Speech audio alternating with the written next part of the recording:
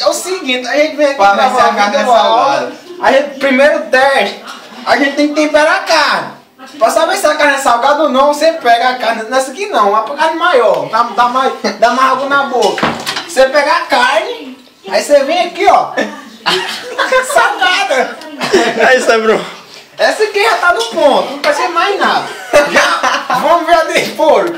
A de porco você Não, faz velho. a Não, mesma. Não, coisa. não. Só que você tem que procurar o cantinho do osso. O cantinho do osso é o bico sal. Se não tem no cantinho do osso, ó. Não tem sal. Ai, Laura. Não tem sal.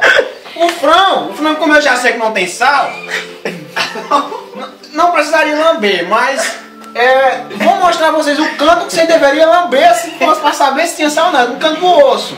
Tá vendo o osso? Você vem aqui no osso, faz assim, ó. Não tem sal.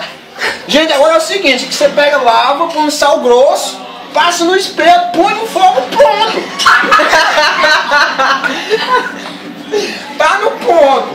Se for em cima da laje, você pega dois tijolinhos de bloco, põe no espeto, põe o isqueiro ligado direto lá embaixo, a carne, pronto. E aqui tá pronto. O tocinho é o seguinte, dá trabalho pra cortar porque o bicho tá congelado, tem um osso no meio, você nunca vai conseguir cortar. Agora o que você faz? Você bota passar assim e vai ter na lasqueta, sabe? Pronto, tá no ponto. Só isso aí, galera. Valeu, galera. Valeu.